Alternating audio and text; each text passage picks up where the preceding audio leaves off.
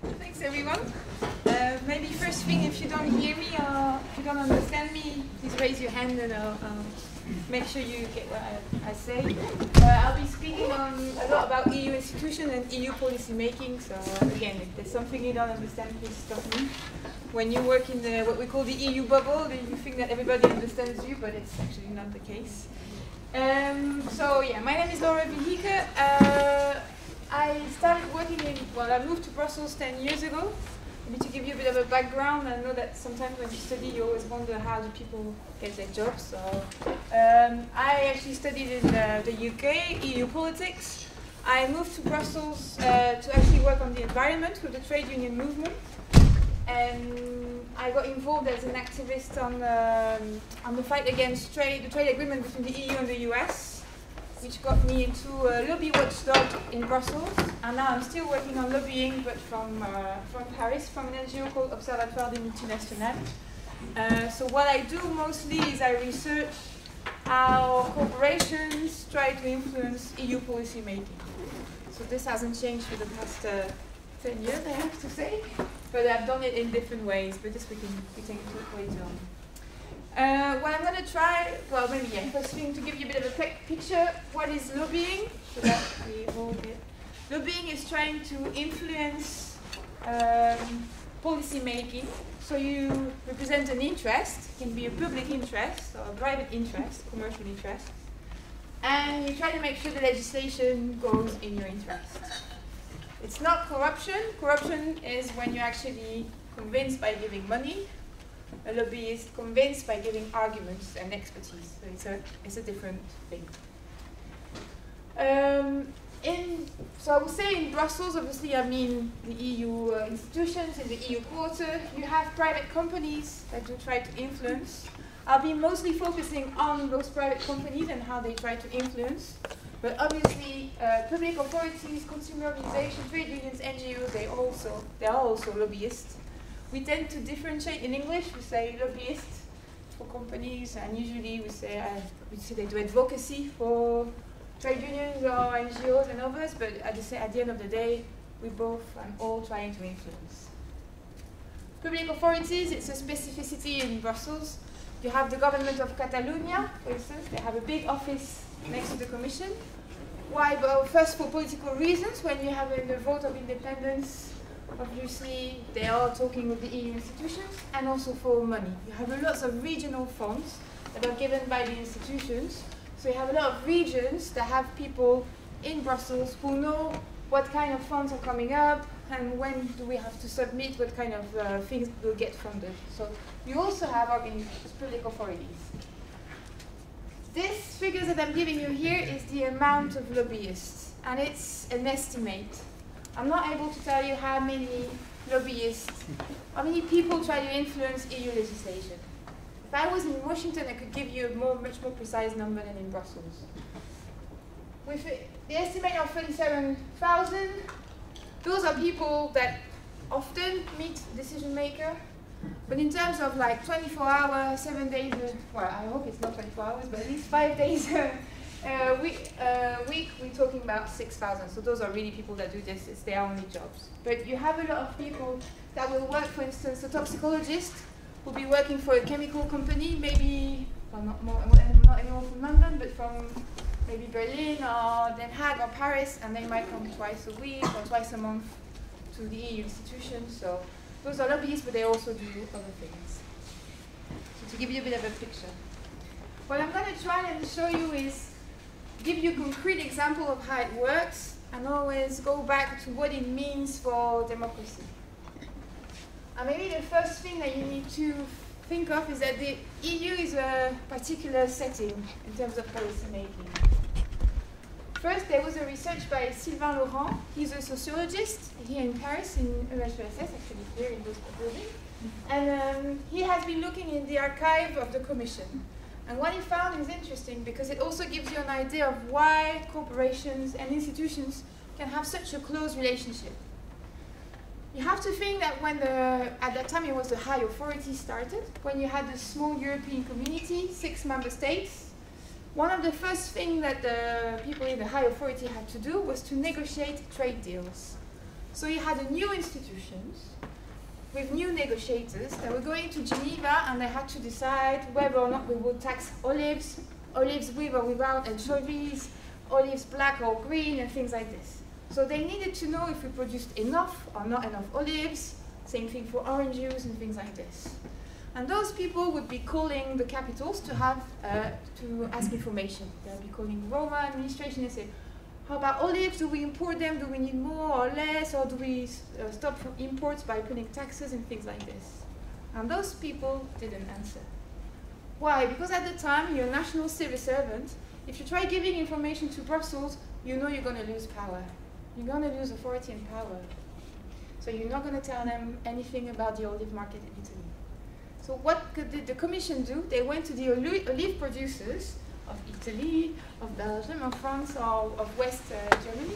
And I said, guys, please come together, do one European association and help us, give us information about how, what kind of taxes do we do for imports? How do we protect or not the European market? And so some of the lobbies were actually pushed by the Commission itself that asked for information. And it became at that time a win-win relationship. Why? Because the Commission was getting information so the commission, when they were going, they were doing going to the trade negotiations, they were relevant, right? They were doing a good job. So they were gaining authority, and they were gaining, gaining trust. And obviously, the corporations, the lobbies, they were giving out the information for in their interest to the commission, and they were getting what they wanted from the trade negotiations. So both sides had an interest in working together. And this, because it was there from the beginning, does leave an, a, a trace in the way corporations and institutions work together. You also have to think that it's a very, usually pretty slow process, in EU policy making. You start with the Commission, they draft the legislation, and then you have the Council and the Parliament that amend it. The Council is 26 member states with 26 different governments, different political parties, different commercial interests, lots of different things. And the Parliament, again, very different political parties. And so usually because it's slow, the Commission has an interest, an incentive, let's say not an interest, an incentive to make sure that what they write as a draft law will not be blocked in the Council. And how do you make sure that it's not blocked? You actually look at what corporate organizations want. Because if you go too much against business interests, you might actually get a lot, a lot of conflict in the council, or even the legislation might be put on the side and this is not what you do. Those are people writing legislation. They have a career. They want their draft, the draft to go through fast, efficiently, and get promoted. Right? There's also sometimes uh, internal things that need to take into consideration. A lot of the time I'm going to talk to you about the lack of counter powers at the EU level. And one thing, for instance, about this is the opacity. So I'll give you a French example, but uh, for a while there was a French president that say my enemy is finance. And, uh, and whatever that French president said in Brussels when they were deciding on financial policy will never be known, right? The European Council, as well as the Council of Ministers, where member states go and decide, is never very transparent. What you know is the conclusions. You know the Council decided that nuclear is a green energy. What you didn't know is how France uh, did an agreement with the Czech Republic so that the Czech Republic said yes to nuclear and France said yes to gas and they, you know, negotiated between themselves. This you'll never know. You only get the conclusions. So what it means is that national parliaments cannot control what the governments said in the council. And they don't know the kind of diplomacy that has been there. So national parliaments have a very hard time having, you know, making the council accountant, and citizens can't neither. A prime minister, after a council, can come to the press and say, yeah, I tried my best uh, in order to make sure that we spend much more money on the green transition. Yeah, maybe, but who can prove it? No one. And so also, the opacity also has an impact on democracy because it means that there's much less check and balances. I said most national parliaments, because actually there's one parliament in Europe where MPs know exactly what happens in the council because they have access to a confidential database, and it's Germany. Um, so yeah, the lack of counterpowers, we'll come to it again. The fact also that you have mostly a culture of technocracy, so you have technocrats, experts that write legislation. Again, they're not really up for debate. They don't really have, want to have opposition because it's going to slow the process and because it's not in their culture. Lack of expertise sometimes means that you depend on the expertise that come from corporations in order to write your legislation. And if you don't have the expertise, you think you can get it from the corporation and that it has no interest behind. So this whole idea of where you get your information from when you have to write the legislation. And again, sometimes you have to think about ideology also. Some decision makers will go and rely on business information because they believe that the market is the best for policy making, but this is another thing. So I'll try to go back and forth into those concepts while giving you examples. So what I said when I told you we don't know exactly how many lobbyists there are, so we have a transparency register. So that's this. In the register, organization put down their clients, number of staff, and also their budget. Uh, registrants, you have 12,000 people. But if you go, for instance, there's a law firm that's called Sidley Austin. When you go, it's a very big law firm. They have a former US ambassador as their lobbyist. So, heavy, heavy weight. Uh, and when you look at their website, they say that they help governments, uh, companies, and trade associations to navigate and shape EU rules. So, they're a lobby firm, right? Sidley Austin is not in the transparency register. They would be in the US because it's compulsory. So there's a lot of organizations that we don't know about.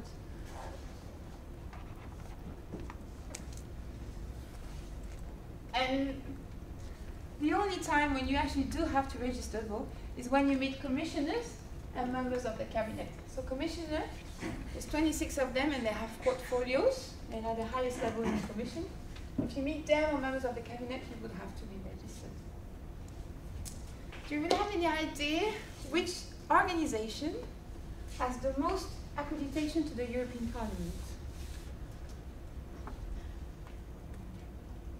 Can you rephrase the question, please? So, which kind of uh, lobbying organization has the most pass? I'm giving you this because it's the only official data that we have. So, you can have a pass to go in and out of the European Parliament. Which organization has the most? Yeah. The Farmers Association, maybe? Farmers? Pharmaceuticals? Pharmaceutical? Automotive. Automotive? To be honest, uh, I have to say it's a bit of a trap.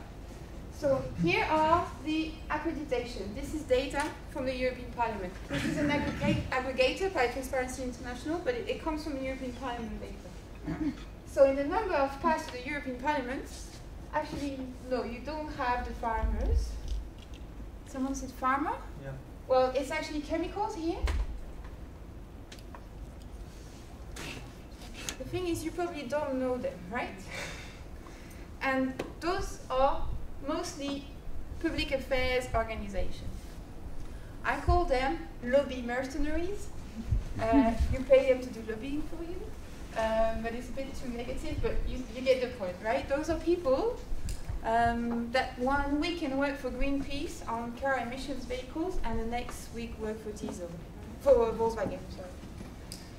Um, they are usually uh, specialists, so they're usually expert people that know really well their field, but they are subcontracted. So to give you an idea, Fleishman Hillard works for most of the major EU and US banks. Um, BlackRock, JP Morgan, HSBC, Barclays, uh, Societe Generale and others. They, uh, they give money to Fleishman uh, Hillard every year. APCO Worldwide is working for Digital Europe, Microsoft, and others. This is a communication agency. This is what they call public relations, so lobbying firm. Rud Pedersen, the same thing, lobbying. European, that's an NGO, European Environmental Bureau. FIPRA is also a, a lot of, uh, of digital and competition. FIPRA has one of the best competition lawyers you can think of. So the lawyers, when there's a merger, they'll make sure that you can merge, but you won't get uh, problems with the commission. BCW is a law firm Dantos, Interel, this is the communication agency of Coca-Cola, for instance, but also BP and Shell, they use those services. Consumer organization, and Chemical Industry Council is all the chemical industry companies, the chemical companies that operate in Europe. So although you have Europe here, that doesn't mean you have only European companies. It's all the chemical companies that sell and produce in Europe. And if, for example, like Coca-Cola or BP like contracts these firms, like do we know like what proportion they only like trust these people to defend their interests, or do they have additional lobbyists and like do we have some kind of idea like what's the relation between the two?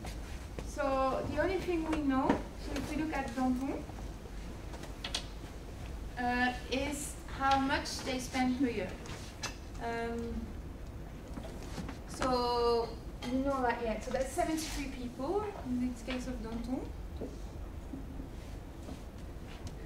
They still have, maybe now they don't have Coca-Cola. When I tell you up. Uh, BP they have here, they, so that's the only thing we know. The amount and the kind of uh, legislation they work on. That's the only thing we know. And it's the same for everything.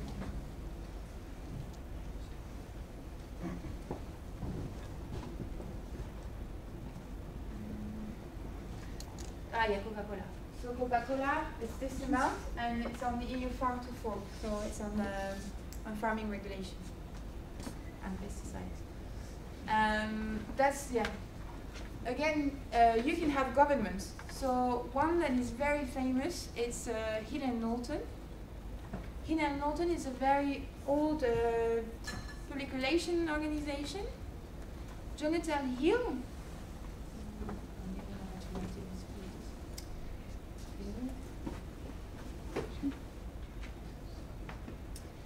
Jonathan Hill used to be a journalist and he was one of the first person in the 50s in the US to actually open a public relations firms at the same time as Edward Barn, Barnes. I don't know how to pronounce it. Uh, so it's yeah, the grandfathers of public relations.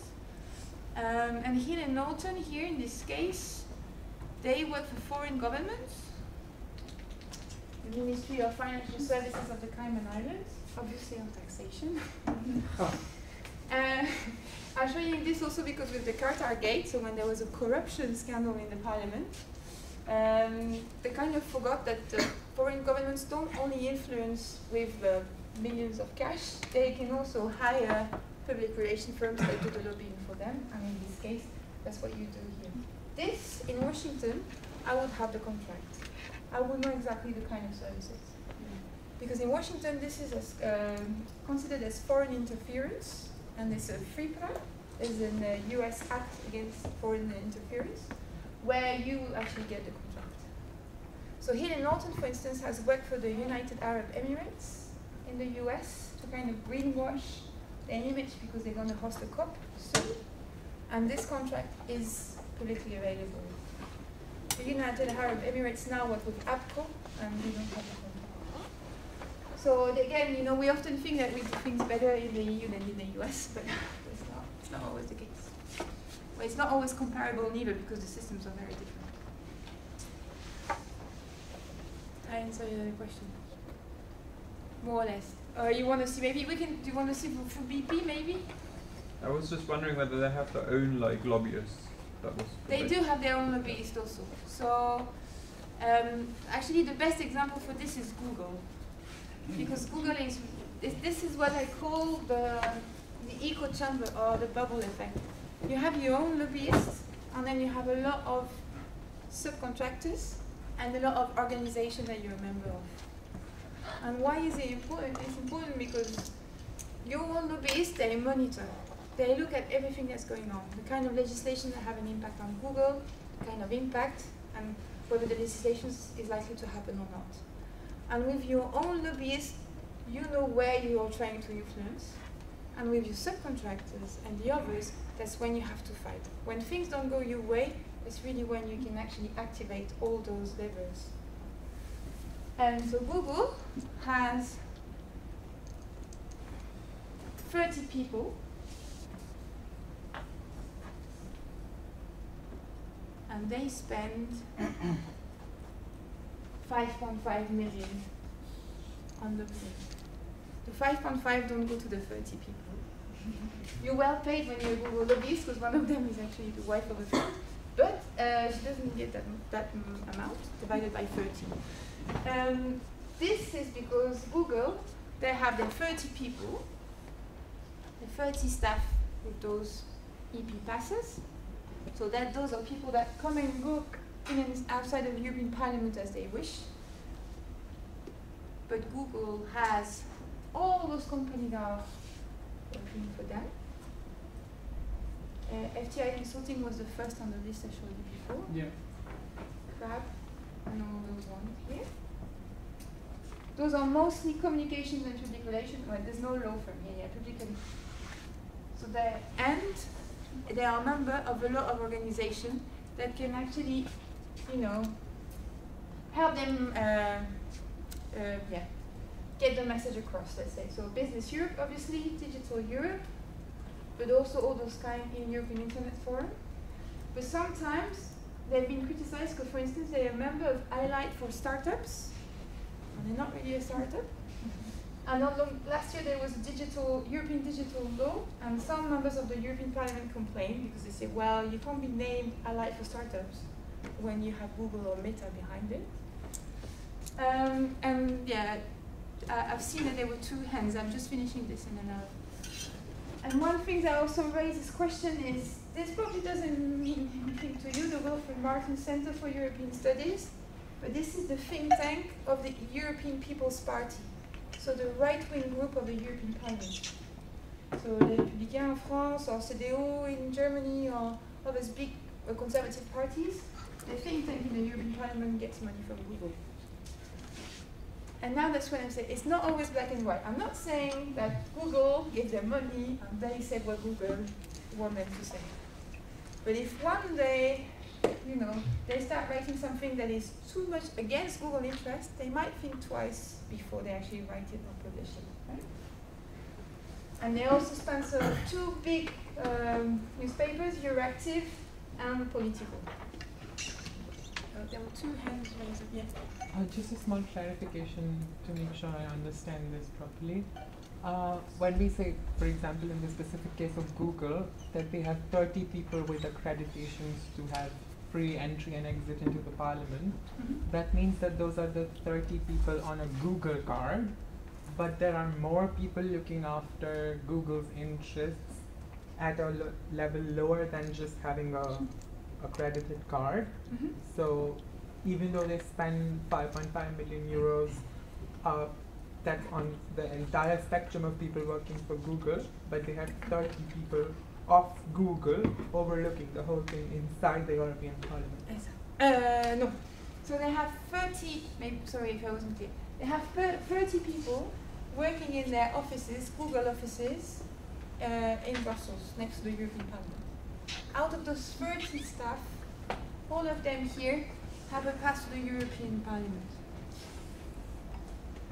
Okay. And the 5.5 million is the expenditure of Google in lobbying in general, so staff, but also membership of organization and the lobbying firms, the communication Right. firms, and the law firms. So maybe to give you an example, so they're not working with APCO anymore, um, but it's it's. I was trying to give you the show you the case study online, but uh, they've taken it away. Um, APCO, for instance, they worked for Digital Europe, so not Google, but Digital Europe. And APCO, they were called by Digital Europe because two weeks before a vote in the Council of Ministers, those people here, people working for Google, but for Meta and in Digital Europe, they were trying to influence the ministers, but they didn't manage to get their interests through. So they called APCO because APCO is a communication agency, and APCO did a lot of communication work to help them. So they got opinion pieces in the Financial Times, good press coverage in Euractiv, and things like this. So the core, the strategy, the monitoring, it's those people inside Google. But they also have other people here, external. So there is someone in Kreab that is probably um, knows everything about advertising online, or there is someone in FTI Consulting that knows everything about taxation. Those people, they work for Google, they look at how those policies have an impact on Google, but they don't work for Google.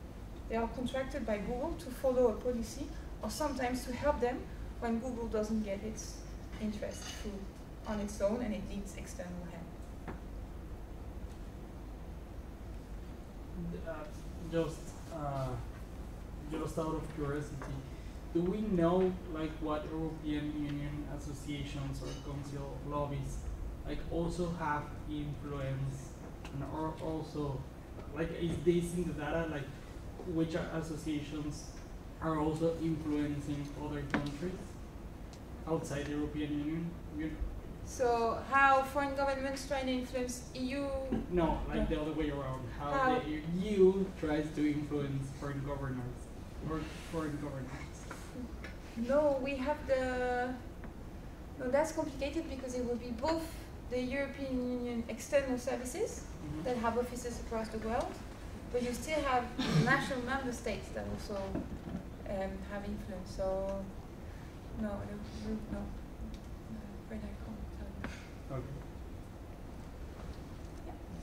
How reliable is this five million number? Is it reported by Google or? That's the thing. The only thing that is. Uh, uh,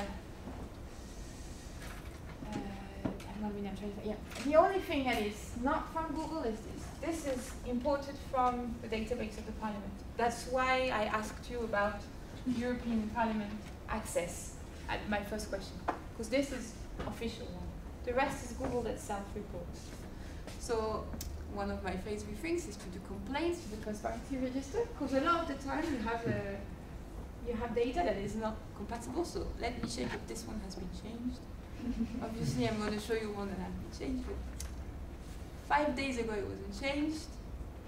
Sorry, I'm on a, I'm on my hotspot, so it's a bit slow. Um, so last week I looked again at Philip Morris.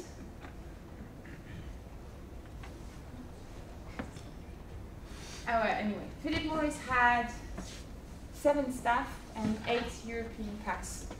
So there is a lot of there is a lot. Well, I don't know actually. There is there are cases of underreporting. But the problem, and again, this also comes from the structure of the EU, is that you can get away with underreporting. Again, it, I'm not saying that all lobbyists should go to jail, but in the US, if I was underreporting, I would go to jail.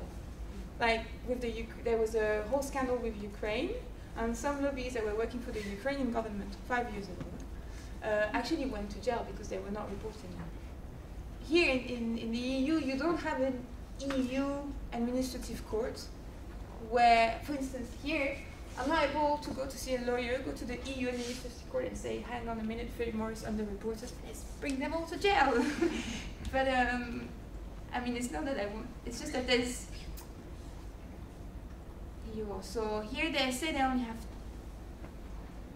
eight, nine, ten, uh, exactly, 11. So there are, um, there are 11 passes to the European Parliament, and according to them, they have 10 people only doing three full-time equivalent. And there's been also a case where I'll show you the figures because I don't, I'm not really good with remembering numbers. Uh, there was a case where so where did it? I it somewhere. Anyway, the, there's a case where Fleishman Hillard was working for Monsanto. They were listing all the people that were against glyphosate. Glyphosate is an herbicide. And Fleishman Hillard worked for Monsanto for 14 million euro to do a blacklist for a year everywhere across the EU. They were found guilty in the French courts, so the contract was published, and uh, Fleishman Hillard reported uh, 400,000 that they worked for 400,000 for Monsanto. That's what they said in the transparency register when it was 14 million.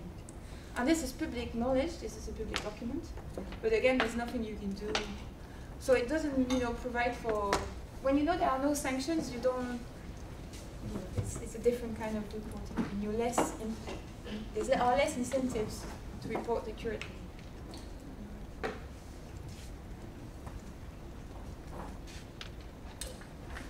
So I showed you like efficient lobbying is quite efficient when you're discreet, you know. I'm sure that Sidley Austin can tell the clients come and work for me, nobody will know. One thing that works really well is what I've just shown you is that you get one company that get, does the same message for different channels. And he raises really about the idea of that, that the question that it raises with democracy. So for instance, Google that I've just shown you. Google, last year, there was a, you, the Digital Market Act, the DMA as we say in, in the bubble. It was portrayed as a law in order to leave space for EU tech companies. So trying to reduce the influence of the big tech for EU European startups to grow in the European market. If you frame it this way, obviously you're going to have a lot of support, right? And Google tried to change the narrative into, hang on a minute, we the big tech provide you free quality services. So if you start regulating us too much, you're actually going to harm European consumers. And they have different narratives, you know? And in this, Google, actually Google lobbying strategy was leaked. And you can see that in the strategy, there were two things that were interesting. Was change the narrative. So talk about how Google innovates, gives you free quality services, and make sure that you activate the echo chamber through think tanks, academics, and the organization you sponsor. And this echo chamber is basically you are Google and you make sure that APCO writes or gets journalists to write in the sense that come on Google is giving you free quality services. You make sure that you get this message across in events. Maybe you're going to get a study somewhere and you'll have your own lobbyists and other lobbyists trying to go and meet decision makers. So if you are a member of the European Parliament, for instance, you have someone from Allied for Startups that tells you, oh, you know, it's not such a great idea that you regulate, leave the market alone. You go to an event where they tell you, don't forget that big tanks actually give you really good services. You read a newspaper article that reminds you that Google actually provides great services, and on and on and on. And you end up only hearing the same message. But you think it comes from different people. And it's the same thing as if your sister, your grandma, your best friend tells you there's a new ice cream and it's great. You're going to say, well, if everybody says it, it must be true. Same technique. If everybody says it, it must be true. The only problem is it's not everybody. It's one company using different channels to get the same message across. And that's where it really raises a question about democracy. How much space does it leave to different voices? And those different voices, do they have the means to actually get the space and get the same, you know, different actors?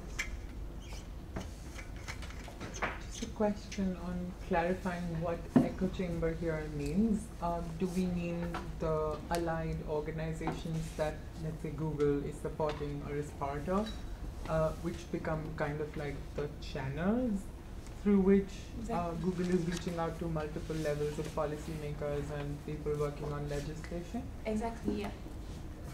Exactly. And this, those echo chamber, obviously, uh, it is the main job.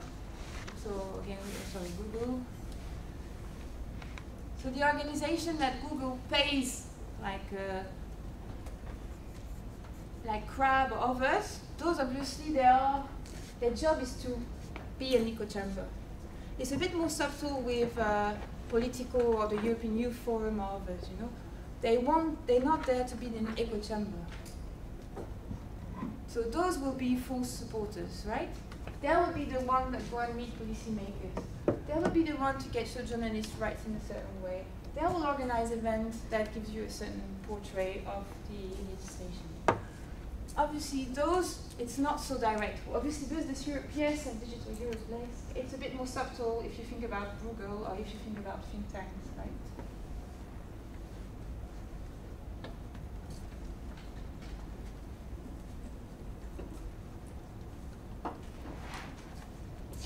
Um, let me give you an example about this spinning because I've just talked about spinning. So I'm not saying that Google is lying, right? Google is providing free quality services to most of us. This is not, uh, I'm not questioning this. What I'm question, question, questioning, oh, they've changed it. Ah, no, they still wrote it like this. They just changed the title. Um, what I'm questioning is when we only have one side of the picture that takes the entire space, right? And this is what we call spinning in English with uh, the spin, right? You have one political problem, and you are shown one side of the problem. And it can actually hide other sides which have full legitimacy to be heard also, right? Let me give you an example. So this used to be called prevent another financial crisis. Um, we are at the time of the Greek crisis. The European Central Bank is sending money to a Greek bank. But before that, it wants to audit the bank. Obviously, that bank doesn't want to get audited, so they call Alber and Geiger and they say, please make sure we don't get audited. Alber and Geiger spins it in a very clever way.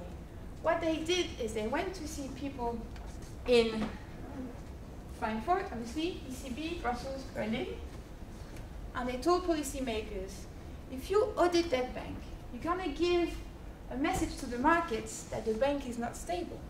If you give that message to the markets, they'll keep speculating against Greece. If they keep speculating, speculating against Greece, you'll keep having a worse financial crisis. So you shouldn't do that audit. So they prevented another financial crisis. They helped prevent another wave of economic instability in Greece, largest systemic bank. After six months. That's one side of the picture. The other side of the picture is the European taxpayers giving money to a Greek bank and maybe wanting to be sure that they know where that money will go and whether it will really help or not the Greek people, right? But by giving, by having this, you know, influence machine, you actually, they manage to get what they want in six months by being the only message in town. So you see, that's how spinning can actually have an impact on when it takes the entire political space and debate. Um, what would happen if these people did not visit Berlin, Brussels? What would happen to this bank? It would have been audited, and then they would have received the money, I guess, or, I or the audit would have been really bad, maybe not.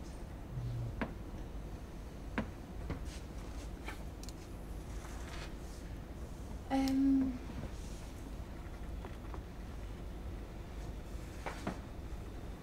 um, lobbying um, is usually done by, I would say, two kind of experts, right? Uh, political experts, so people that know really well how the institutions work, know who exactly has power in the commission and when. Basically, they know who to call when, right? And it's really important for you, you know? And technical experts, really, really high level toxicologists for Bayer and BASF, for instance, or for others. So again, I'm not saying that those people are stupid. They are usually very high level experts. If you look at some of the job announcements for BASF or Bayer or the pesticides lobby in, uh, in the EU, you'll find that they usually have high level toxicologists with PhDs and so on. Political experts, for instance, the former Swedish Prime Minister, who's also the head of the European Socialist Party, he works for Rud Pedersen, a communication agency one of the biggest one. He's here in the top level in the finance. So this person is here basically because the client saw Rud Pedersen. If they know that the socialists in the European Parliament are changing their mind, or they don't really know what to vote on a new legislation, well, they can call Rud Pedersen, who can call Stefan, who can tell them, yeah, on that file, call this socialist. Is the socialist that all the socialists follow or trust? And that's super valuable knowledge. Uh, it, it is worse than corruption, no? There's no there's no exchange of money here. Uh, at worst. But isn't it With- like Without money included. Probably it is included, we don't know. And the thing is, that's what I will come to after, is that is it those people, Rud Pedersen, they have a business plan that is to influence. They sell influence. He knows this and he wanted to work for them, right? He's allowed to do this while being New York Socialist Party. And we have the other side. Someone in the European Parliament is going to get a call from Stefan and might not know that he works for Rud Pedersen, or knows and doesn't mind, or gets influenced. So there's a lot of things. It's not just about them. It's also about the people receiving the message. They let themselves be convinced. So it's not, I wouldn't say it's corruption, I would say the responsibility is really diffused. It's the institutions for the lack of transparency and letting those things happen. It's the former politicians for, you know, changing interests without, or having two conflicting interests. But it's also the decision makers for letting themselves be influenced. So you can never really, you know, it's never that black and white. There is no law that can You could prevent someone from a party to join a consult, uh, consulting firm. You could have what's called a cooling off period. So if you've been prime minister, you're not allowed to go to public relations firms for six months, a year, a year and a half. Um, just another clarification because I know very little about the European yeah, it's fine, on don't this. worry. Um, and I'm just wondering what the um, I mean, so this is one uh, parallel sort of um, chain of incidents, right? Because there's so much uh, legal exchange of information which is very sensitive or which is very valuable in uh, changing outcomes for Mhm. legislation, and arguably, I mean, it is very much detrimental to how uh, democracy would function or how much space would have for everyone to have a voice on a platform like the European Parliament.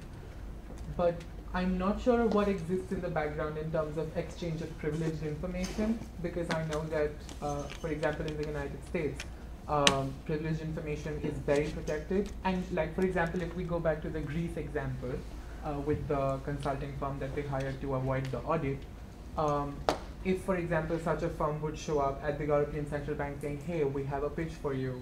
You should you should probably listen to us." Uh, I think like a background check of that firm and who who they made deals with. Do are they you know hand in glove with the Greek bank? Is the Greek bank actually trying to avoid something with us? Those are obvious questions which, if I am asking as a you know as a nobody, as a as a master student, people sitting in the European Parliament are way more qualified and way smarter to ask those questions. So what I wonder right now is what is the existing state of of exchange of privileged information? What is the state state of perjuring yourself, for example, um, or or how how does it work? Because like that's like a very valid thing to connect here.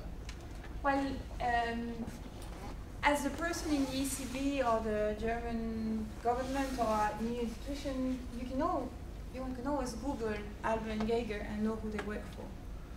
Oh, Google, I mean, put in the transparency register. For instance, at the moment they work for the government of India on the EU-India trade negotiations. Amazing. But it's nothing like um, that's quite interesting because I also happen to work on trade, and they Harbin Geiger called me one day, and they said we're working for the government of India on the EU tra- India trade negotiation. You've been writing something against that deal, so obviously they wanted to talk to me. Embassy of India, EU India free trade agreements, and EU Russia sanctions. So I mean, at the ECB, when I receive Alber and Geiger, I can I can see who they work for. There's no limit on the kind of information that can be exchanged. Supposedly, legally, they should come up and and say, "I come as a representative of uh, that Greek bank." And the person in the ECB or the decision makers can have a look in the transparency register and check who they're talking on behalf of. But the kind of information that is exchanged is not limited. No, there's not. I know that in the US they have this legal background, but it's not the case in the EU. So Again, it's because there's sorry, there's no like. The EU has competency in policy making, but it's not in itself a government with full administrative and, and, and legal powers. You know, it's a bit of an hybrid where even if they wanted to have this, there's no legal background you have. You will have to change the treaties. You see what I mean? Just to follow up to that, for example, um, so if, if I look at, for example, another question that came to my mind when I look at the list of you know people's names from Google is is the privacy concerns which which are very strong um, to have like names displayed, their ID card numbers displayed, which is again sensitive information. Um, And I suggest maybe that we keep part of the questions for the debate. Okay, Because sorry. we have also to discuss. I'm losing. Okay, sorry. sorry. I'll keep it after. Yeah. I'm Okay. Sorry. I'm And there was one more. one more? Okay. Okay, I'll keep going. It's true that I don't see the time. Oh, it's 50. Okay, I didn't see the time. Okay, I'll go. Um, yeah, one thing that we say a lot in lobbying is if you come the earlier, the better. And that also is important because a lot of the time you would think that uh, it's all about money. The fact that uh, Google has so much money is the reason why they're so important. It's not, that link is not always true. What's also very important is if you come early in the debate, you actually frame the political question that the law is going to answer. And when that framing is there, it's very hard to change it. Let me give you an example. Um, back in the days, when I went to, when I was in your place and I was a, a student, uh, there was a big debate in environmental economics on whether you do you tax pollution or you do an emission trading system. You have a carbon market. So companies are given a right to pollute. If they produce more, they exchange it on the market. Or companies are given a right to pollute, and if they pollute more, you tax them. Right? There was a big debate about it. Uh, the EU has a carbon market that the first version didn't really work. The carbon price was too low, and it didn't really reduce emissions. So when they were renewing it, you would expect that there would be a debate about, well, it didn't work, should we do a tax, should we do something else, right? But the debate quickly went into, how do we improve the second version, but we keep the carbon trading system, right? And the debate was clearly, it changed, the second version is different, but it's not a big change from the first one, and it's not having such efficiency until now. And why? Because if you're Business Europe or the International Emission Trading Association, and you come very early on, you're quickly going to say, yes, I know, let's do it this way this time. And so you get policymakers to improve the existing model. If you're a Greenpeace and you come before them and you say, hang on a minute, why don't we tax and we use that money in order to pay for renewables or in order for reduce whatever the, the price of uh, energy of, or heating for poor families, whatever, you know? There the question is, ah, okay, do we keep the system or do we put a tax? If you hear the beginning of the debate, then you have two different debates. And once you have a draft out, once you have a new version of the ETS, or you have a tax, if, if you come after this, it's too late. So typically, Greenpeace came when the second version of the trading system was out, and they went and said, no, it's not a good idea, let's do a tax. They're too late. No member state is going to say to the Commission, go back and redo your draft. And members of the European Parliament are going to say, well, okay, I'm going to oppose what we have now, but I can't write a new legislation to have a tax, right? So really being here at the beginning of the debate really frames the, the, the debate. And once that framing is there, it's very difficult to change. So being early is also very important. Okay, a lot of those I've told you, but yeah, companies do lobby, but they also go through trade association, right? When we looked at the biggest lobbyists, you have mostly trade association. Most of the time we think it's companies, but here, that's a trade association, a trade association. You're stronger if you have all the companies of Europe speaking with one voice, all the chemical industry speaking with one voice. Then if you have Bayer going, and then DuPont, and then Zinzin, or whatever, same thing with Business Europe, you're stronger speaking with one voice and if you have BP and then Uber and then Shell and then the biggest companies. No. If you come together to the institution with one voice, get more power. So a lot of the lobbying happens through trade associations. Lawyers, a former Belgian diplomat, I love that quote. Um, rules, I was talking about rules and cooling off period. That's a former trade commissioner during the pandemic, he was found playing golf in Ireland without respecting quarantine. He had to resign. There's a, a year cooling off period when he's not supposed to work for the lobbies or the corporations. So he created Hogan Services. Hogan Services works for a law firm that's a lobbying firm, and for Vodafone also. So again, you have the rules that have been changed, but the problem that hasn't changed is the culture. The culture that it's totally okay to do this. And why is it totally okay? Hogan does this in Ireland, I'm not sure he gets away with it. Hogan does this in Brussels, he gets away with it. And that's the whole question, because very few people are looking. So you have very few people that get scandalized, and not enough for it to become a big scandal. And that's the same thing when I was telling you about Philip Morris and showing you their under report. You get away with it. Because no, there's very few counterpowers. You, you don't you, you can't be scared of public opinion. And it's one thing that you have as an NGO that you don't have as a corporation. Again, it's public opinion. So yeah, maybe Greenpeace doesn't have much budget. Not as much as the biggest uh, chemical industry in the world. But when you had a big debate seven years ago about glyphosate, Greenpeace was very influential because Greenpeace had public opinion behind them. They had politicized the issue. And this is what I was telling you at the beginning, is because you don't have politics, you don't have debate, you don't have controversy. That's also why you have so much space for corporations to influence through the technical expertise, through the depolitization of the debate. Public relations, I showed you. Here, APCO does communication. They've been working for the presidency of the Council for Croatia. Again, why is this legal? They, 2020, they work for a member state as the president of the council.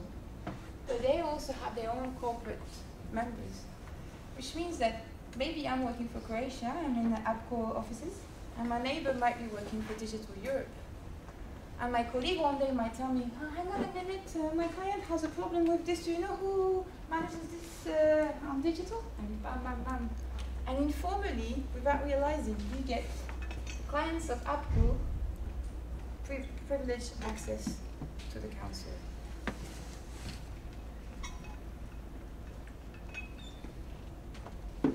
Here again, revolving doors.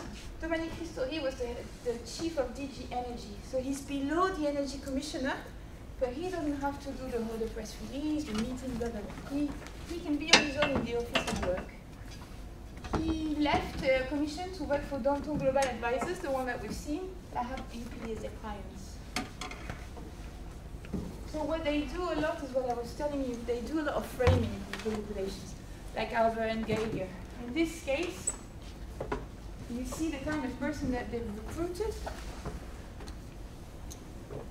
His name is Dan Sobovic. He used to be the speechwriter of the vice president, and he became senior advisor for digital communication of BCW. BCW.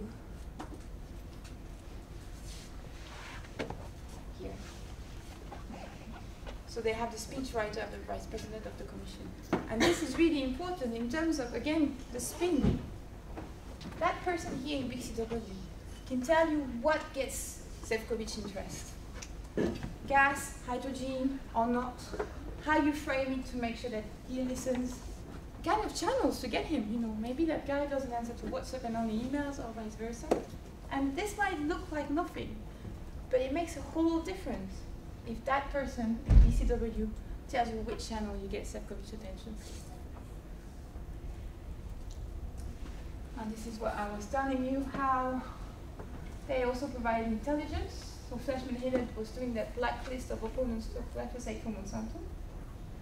And they do now what they call corporate activism, Fleishman Hillard. So I was on one of their, yeah, during COVID, the good thing was webinars were online, so I managed to register Fleishman Hillard course.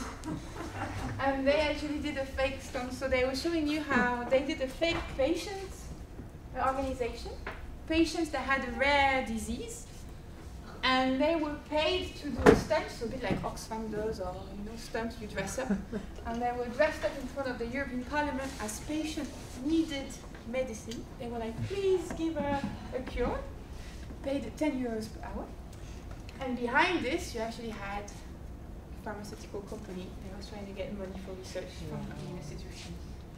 They call this corporate activism. And did they get the money? I didn't even tell us because the, the client was confidential. Mm. This they know how to protect. This they know how to protect. Obviously, that's often what we think. We also ha often have this idea that it's a lot about cocktails and receptions and things like this. It's part of the picture, not only, but there is a lot of it that also happens during events. So here you have EFAMA, uh, Asset Management Association. They have an event with very important people. Um, they do a lot of those. They have a sponsorship package. So now it's not public anymore. I have printouts of uh, previous versions, but now they don't print it. They don't, it's not public. You have to send them an email. Uh, in, other ones, so not in this one, but I'm guessing it's the same thing. You pay different rates, and you pay fifty thousand if you want to be a speaker here. here, see here. But you also, with fifty thousand, you're invited to the pre-conference dinner. And that informal mixing of public and private interests is part also of the job and has a lot of influence, although I'll, I'll never be able to tell you how much. The other one is this one. So this is Eurofi. It's the yeah, they say it's a think tank, but it's more of an event organization. They have all the major banks in the world. And every six months, depending on the presidency council, they have reception in the capitals. So this one is in Santiago de Compostela, so Spain is the president of uh, the council. They had one in Stockholm uh, in February. And this is a great mixing of, uh, genres. You have public authorities, but you also have, you have central bankers, you have ministers, MEPs, you have Spanish medical authorities, you have the members. So we give you an idea of the members. Molino Deutsche Bank, you see, right? And again, they have an event where they probably share expert knowledge and where MEPs are probably there because they will learn things that they don't know or they need to know. I'm not questioning the fact that you need information from those corporations, especially in finance where sometimes they have more information than you can get access to. What I'm questioning is the fact that MEPs, first MEPs are invited. They get the three-star hotel and the business class. They get the dinners and stuff. So they get the nice image and nice, you know, and um, contacts in a very informal way. And second, not all MEPs actually report it. So if I want to get the, I know it's a bit bad, but okay. if I want to get detailed program of Eurofi, I go and look on the member page of a German MEP, and I'll get everything. The German MEP is going to show me his flight, his hotel, the program and everything. If I go and see Stéphanie Jan Courtin, the French MEP who was always there, because she used to be a, um, in a, a, law firm and she works on finance, she never ever published any of those events. But I know she's there, she's in the list, I know she's been you know, offered to go there.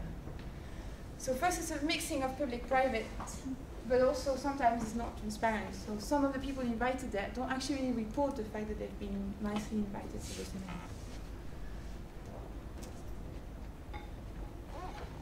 And the think tanks. I was I'm gonna try and finish with a positive note.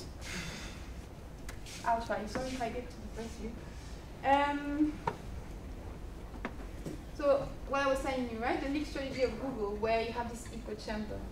In think in think tanks you also have events where you get to know important people. So here, for instance, it's a bit old, but I think it's still important. In 2020, you had a new commission. They, they just started, and the main thing of von der Leyen was the Green Deal, right? So you have a new commission, only three months there. Main thing is the Green Deal, and if you're members of Friends of Europe, only if you're a member of Friends of Europe, you get to speak in an informal way with the Green Deal advisor of the President Commission. So three months after she started, you already are one of the key persons in the Commission on the Green Deal. Again, in a more or less formal basis. So that's the thing. It's the early access, the high level access that really makes a difference. But it doesn't always work. I've been, I worked on Uber and how Uber and other platform companies have been trying to influence the platform directive. So the law is trying to give or not workers' rights to Uber drivers, but also to coursiers and, and other kinds of jobs.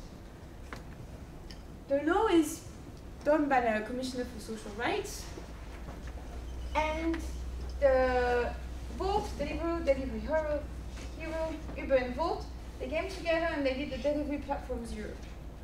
And they commissioned a study because they realized that the commissioner was actually going more for social rights and workers' rights, right? And obviously they didn't want that. Their study was commissioned by the Copenhagen Economics Research. the study was so biased that inside the commission services, I got um, so I asked a lot of documents to the commission, and I got a briefing for the commissioner when they were going to meet Uber. And the services of the commissioner were saying the independence and quality of the study raises questions. So again, it's not that black and white. The fact in this sense that they've given money to this institute, and they kind of, the research was so biased that it didn't work. So it's always um, a thin line that they work on and they, they, they, they know to work on really well. They spin, they don't lie. They do provide expertise. And when that expertise is too biased, it doesn't work. And it raises this question again that I was telling you, is on which kind of expertise do you base your decision making? You know? And if you lack expertise, where do you get it from?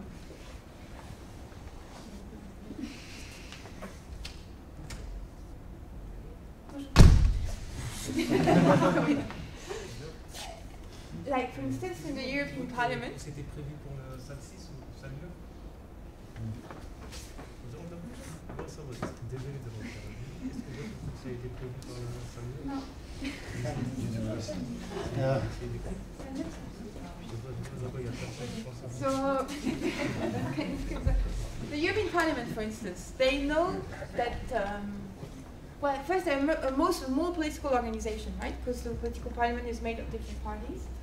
But I know that sometimes they lack expertise. And obviously, if you're a member of the European Parliament and you have to vote on the trade deal, and after this on financial services, and after this on digital market, you obviously don't know everything, right? And even if you have advisors for your political political groups, you know, you might, you know, you, you need expertise. And in the parliament, what they did was they have a think tank that gathers expertise from all the sides. So they've realized they like expertise. But when they do, they do, it's interesting if you ever need to work on a European file, it's called the European Parliamentary Research Services. Their mandate is to collect information from different sources. From different sources. So they will tell you this is the legislation. This is what this think tank thinks. This is what companies think. This is what NGO thinks. This is this is and then you as a decision maker you make your own line. And I think that is where also what I wanted to raise, the questions I wanted to raise. Expertise is not always completely neutral. when Greenpeace goes and talk about glyphosate, it takes some scientific studies. When Bayer talks about glyphosate, it takes other scientific studies, right?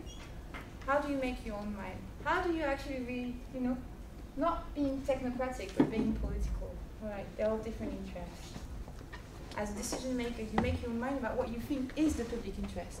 And you don't just, you know, think about, oh, those are the experts, the ones that I've seen in Eurofin, they know about finance, and I'll just follow them. Right? And this is what I'm also trying to tell you.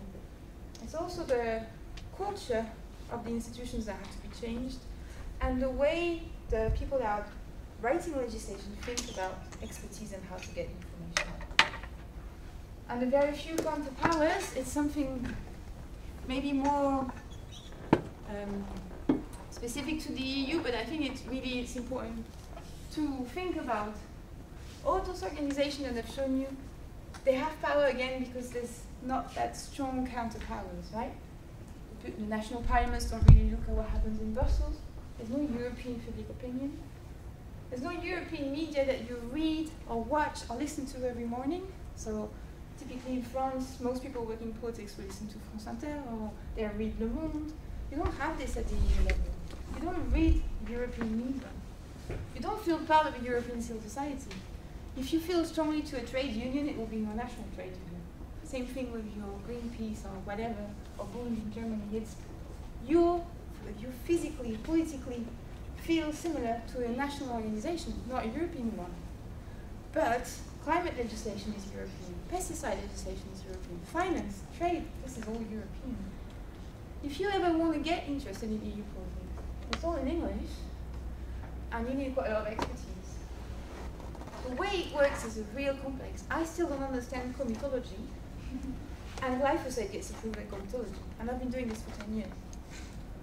And also, what really is important is think about them. The culture of the institution is that they are technocrats and they're doing a good job by making, sometimes by only relying on, on corporate um expertise. And this is an article, I know it's in French, but it's from the Ombudsman. So I kept telling you about how there's no sanction and there's no justice. There's an Ombudsman. She cannot sanction institutions or lobbyists for not respecting the rules. She can only use public pressure. And she said after six years, and sh- she's going to stop next year, that it's very hard to change the culture.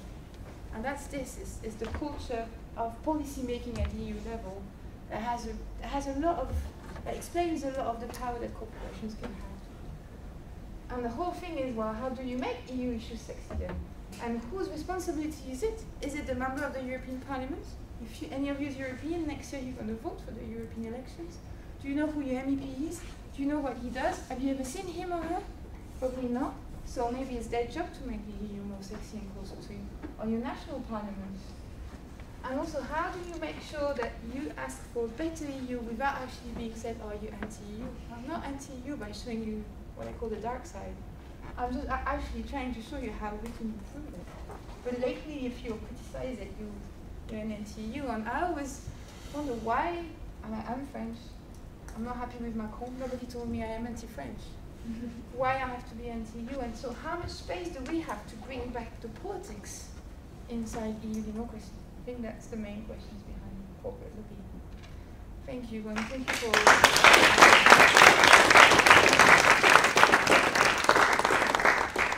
Thank you very much, Lora. So now maybe the three discussants, please. uh, the-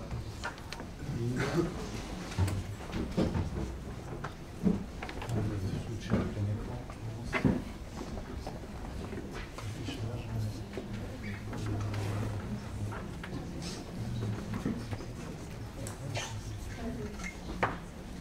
You just have to go down like this.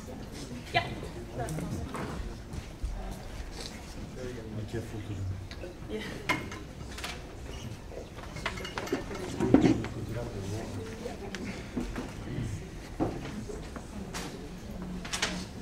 Oh no, I'll, I'll just put a stopwatch and then I can see it myself. You Oh, don't need go, to go. tell me. Okay. Hi everyone, I hope you still have a bit of energy left to listen to our part of the discussion. Um, we are uh, Linde, Dries and Peter. Uh, thank you Lora for uh, the introduction to this topic. I think it fits really well with what we want to discuss, which is uh, the paper about uh, the Uber files, Uber files 2. I'll come back later on why it's called the second. Um, because I think it can be, we think it can be used as a good case study of how corporate lobbying has tried to influence uh, this discussion in EU policymaking. So the structure of our presentation today, I will start with a, I try to make it short summary of uh, the report uh, that we had to read for today. And then uh, the second part of our presentation is really meant to kickstart the discussion uh, both with uh, Professor Verheecke but also with everybody here. That already started a bit, so that's good. um, so the report, it's called Uber Files 2 in Brussels, Driving EU Lobbying. Um, and its aim is to ex expose uh, the lobbying efforts of digital platform companies after uh, 2021, which is when uh, a large part of the EU policy making on this topic really reached a high point. And uh, the context that is good to keep in mind is that uh, the EU had been wanting to improve uh, social protection for platform workers for a while. And it's good to keep in mind that this was after COVID-19, this really brought it on the political agenda because a lot of these workers were not protected by the laws that were already in place for regular uh, employees. Um, so to give a bit of an overview of the events, uh, in or like the most recent events, because this is a very long process to look at it on the last three years. Uh, in December 21, uh, the Euro Commission, uh, European Commission uh, drafted a directive, which is basically the, well, it's not the starting point, but the official starting point of uh, legislation on uh, the regulation of platform work. Um, this is the original Uber files, which was uh, published in, in July 2022. It was actually a, a leak by an employee of Uber, uh, which exposed how Uber deals with uh, whenever any government tries to regulate the behavior of their firm, either in a national context or in a European context. Um, but this, these files, uh, so they were uncovered by journalists, and they mainly uh, describe what happened between 2013 and, and 2017. So the report that we are discussing today, it's uh, published in October 22, so it's like right in between here, and it discusses what happened after uh, the European Commission uh, drafted the first uh, directive. Um, you would kind of say against all odds, uh, in June 2023, the, uh, the European Council actually adopted a position on the directive that was written in, in 2021. Um, it's still not official law, but they're trying to finalize it, I think, if, I understood it correctly, because it is really complicated, before the spring of 2024. So what is this law about? What is the, the discussion uh, that these platform companies try to influence? Um, basically, it involves a lot of technical details, but the biggest controversy was about whether uh, people using platform services such as Uber are considered uh, employees of the company called Uber or self-employed workers who are using these platform companies to exchange and deliver services. Uh, it matters because if they are employees, they are protected under labor law that was already existent. And if it doesn't, uh, they basically don't have the protections that were negotiated before. Um, so that, that is the, the main discussion. Most of the discussion was about the, the employment status of people who use these platforms to, to gain money. Um, what is also good to, to realize is that it is very difficult to, to regulate these uh, platform companies because of their structure, because of their business model. Uh, in a lot of nations in Europe, there are already uh, legal actions being taken, um, but because it is a multinational company, uh, they try to take it on an EU level to also make all the legislation consistent so it doesn't depend so much per country. Um, so a EU directive, which was the, the purpose or the incentive of the Commission, uh, would define the status for, for all people employed by uh, workers is a difficult term here, but all people using platform services to, to employ themselves. Um, so what is at stake? In 2021, 28 million people used platform services to, to gain money in the EU, but this number is growing a lot. So by estimation in 2025, would be about uh, 43 million people using these platform services. And on the other side of this power struggle is uh, the, the platform companies uh, getting money from this business model. Uh, I put two really big uh, examples that I think we all know, Uber and Deliveroo. But what I think is, is good to reminder is that there's a lot of capital being invested by other companies. So for example, Uber uh, is funded by Amazon, uh, Google, Nestle, Mattel, and Amazon is also funding Deliveroo. So there's basically a lot of capital behind the uh, names that we already know, and they're all somehow connected to each other. So what, uh, I will go specifically into Uber's defense because the, the report mostly, I mean, they are like an example. uh, so what is their side of this story, basically? So we know the EU side, uh, they want to protect workers who don't, yes? Just one previous slide. Yes. Um, why is Saudi Arabia in that list? Because they also uh, invested in Uber. So that's the, those are the investors. Yeah, exactly. I just wanted to let, yeah, to show that it's not just this company, but also companies who invested in this business model that are affected by the decisions that the EU makes. Um, so Uber presents a, a, bunch of different arguments uh, to support why uh, the people working through the platform should not be considered uh, uh employees and why uh, they should be not regulated as normal employees. The first one is a famous one, which is that regulation would result in job losses. Uh, then they make the arguments that platform workers actually benefit from better working conditions. Uh, so that, for example, pay is higher is an argument that is made. And uh, a third one that they focused on a lot is that platform workers uh, prefer the flexibility of freelancing that they don't get in, in regular employment contracts. And this narrative, it looks really innocent, or not innocent, but it looks pretty blank on, on a slide like this. But I think it's good to remember that it is reiterated through all these different channels.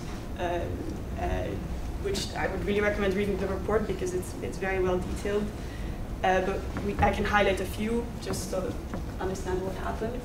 And I think it's, it's good to, to imagine you're a lobbyist and try to think of all the things that you would, would do if you had that interest, which is uh, they reached out to uh, representatives uh, directly, but they also, uh, as we just uh, uh, discussed as well, try to finance think tanks to publish studies which yeah, reported in, in their favor basically because a lot of the numbers about wages, for example, are very difficult to get because the data is in the hands of the corporations themselves. So it's really a, a, power struggle on numbers as well. So it, it makes sense to, to try to publish favorable studies. Um, but also they employed a lot of consultants to identify targets in the EU who could be swayed one side or the other. Um, they hired uh, staff members. I don't think anybody else is from the Netherlands here, but there was a very big scandal with someone who used to work in our government. I would love to talk about that if anyone wants to do that. Um, this is also an interesting one, which is like uh, at some point recognizing that there is a need for regulation, but then proposing your own ethical system to do that so that the real need for legal regulation is not necessary. So you, like, you prevent actual sanctions. Um, and then this is a very sad one, which is basically to legitimize all the stories of people who who don't agree with you and, and try to not include them in the debate. Um, and that's basically why it matters because all these all these pressures from outside um, they prevent a real democratic debate about the pros and cons of legislation. And uh, for example, we were wondering, like after a while, uh, preparing this presentation, like let's say that it is true that workers miss flexibility and they want more flexible labor contracts. We, we are now not considering uh, if it's possible to, to come up with a, re regular labor contract that includes more, more flexibility. The, the conversation is really determined by uh, the people who know how to play the system. And, uh, and this is the argument that the report makes that this is the problem. Um, it is. Uh, it also gives some hope. So don't get super depressed because uh, there were examples of counterpower, which we'll, discuss later. So now we come to the discussion where we will try to look at the document that uh, we read um, um, more critically, and we are as well going to add some questions to start and, and guide the further discussion. So first, uh, if we looked at the document, it's really well written, and if we look at the sources, we see that it's mainly using uh, public information, so that's information disclosed by Uber itself or by the Uber files, so the leaked documents, or uh, about the meetings of people of the uh, commission and their uh, cabinet. Um, but this is interesting, so this makes it really uh, robust, I would say. Like it's difficult to dispute because it's really factual. Um, but this may have um, as a consequence that we don't really see this, the scale of the lobbying. Um, so for example, these are like the, this is from the same site and was as well in the report as we saw earlier, uh, the transparency register. Uh, there we see that Uber has an annual budget of 700,000 to 800,000 uh, euro. What is what you could say like for such a big question as self-employed or employed, it's really the core of the business, so it's really rather small. And you can as well think like lobbying is as well for having better uh, tax benefits and so on. So then the number is is really rather small. So you see that there is like it's the use of this public information that Uber is disclosing themselves, but it could be that this number is too low. So this raises the, the question how you see the choice of um, the of being more cautious with like only using public information, but as well showing the full picture. Then, uh, as a second point, if we look at the context, the, the report uh, is commissioned by the left in the European Parliament, what is a fraction in the European Parliament um, that is wanting to influence as well the debate or wanting to back their argument. So this raises as well questions of how you see the, the role of the NGO, uh, like uh, Observatoire des Multinationales, Um, and your role as a researcher, are you just making it transparent by doing your research, or are you as well spreading it, or are you as well going to actively start lobbying as a researcher to spread the word or to influence there? Um, so returning the discussion to um, lobbying itself and how it works, and you have mentioned a lot already, so I won't go too much into detail. Um, but pretty important, um, yeah, we've heard it a lot, is the reliance on external expertise that was obvious from the beginning of the EU, and also the complexity of power distribution and channel, which is very specific to the EU, as you already said. Um, there, um, it's a highly technocratic structure. and Because of that complexity, there are numerous um, points of interference, so to say, in which you could influence the, the decision-making process, um, especially in comparison to a more uh, straightforward lawmaking process. And also, this was already mentioned already, there's no European civil, civil public space as such, so um, no common language, uh, no common newspaper, so to say, and that makes it very, um, it, it, makes it more difficult that everybody in the EU engages with these topics. Um, similarly um, as with local politics, so to say. And the implications, um, we have also heard a lot of that already. Um, and we've heard that there's no universal law of access towards EU lawmaking. Also, the academic literature um, identifies that as well and has different approaches. Um, the first is the um, that the lobbying success is related to the triple I. so that would be interest issues and institutions, and that first means the internal unity of institutions and the degree of counter lobbying. Um, the issue, issue relates to um, to which degree these issues are politicized already. Um, it's also pretty pretty clear from your um, from your speech already, um, and also the natural disposition of legislation favoring some um, some parties over others, or some positions that can also change over time, of course. similarly another scholar uh, that defines salience uh, um, and voters' interests as determinants for lobbying success, but that is, like, I think, in my opinion, or in our opinion, also another way just to phrase interest issues and institutions. Similar as the degree of conflict, which also um, relates to salience and, um, to a high degree. And similarly, another interesting point is that the salience, the success is dependent on salience, but uh, the, it is then again dependent on the coalitions between interest groups. We again have heard that already as well. So if Uber and Bolt are, um, work together, they have a way higher chance of success, and they it seems like everybody is united, so to say. If a small business tries to influence, even if they have a lot of money, it becomes more apparent that they're only um, doing it for uh, their own interest, to, so to say. Um, so um, also um, for the outcomes, this means there's mixed evidence for corporate versus citizen uh, groups' interests. Um, yeah, because there's just no single mechanism and you can't derive any like causal general and uh, all the scholars, you mentioned it as well, there's no black and white and, and many scholars make clear that it's no big mid, big business gets what it uh, wants, um, but it's like uh, this yeah, this doesn't neglect the fact that they still have a lot of power to influence the policy making, and you can still derive uh, like the tendency that, for example, trade unions like influential power compared to corporate interests. Um, yeah, so that raises the question. Um, so, if Uber is the story of corporate interests dominate EU lawmaking, or is this case a success story for a counter movement? I think you have answered it partly, but we know you would do that. Um, yeah, exactly. Um,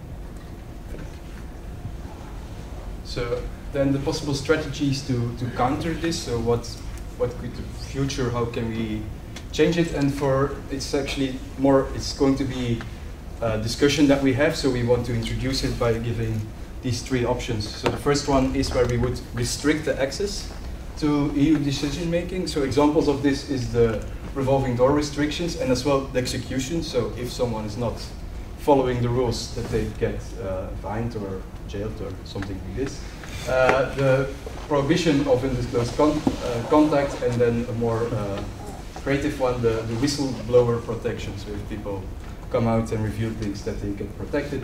Uh, but of these kind of uh, policies, you get uh, disadvantage that there is actually a need for this expertise of companies, so there can become uh, a lack, and can as well be that because of restricting the um, the contacts that they are not allowed to have, that they will move into a sphere where we actually don't know that this is happening.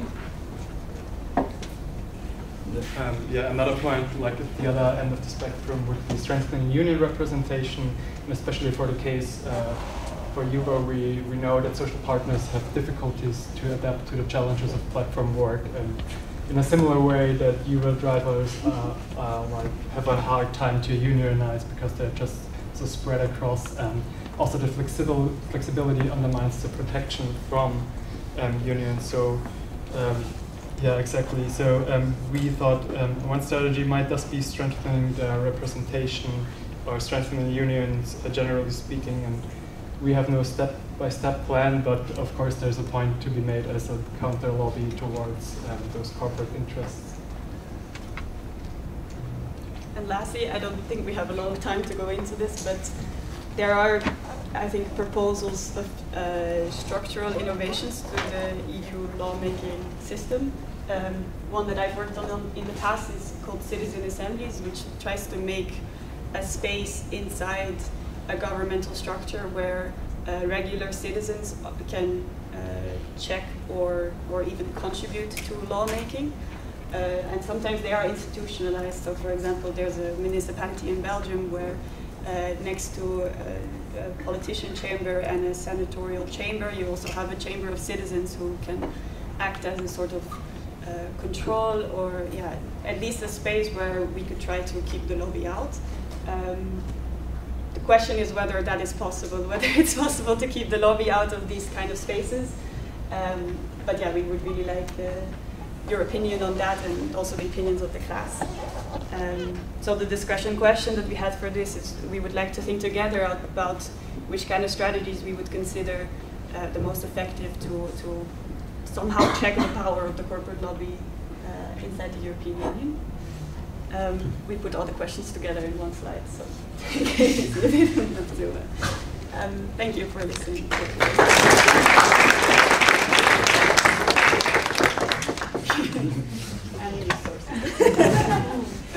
I think it's better we sit down again. No? You can you can come back and yeah okay.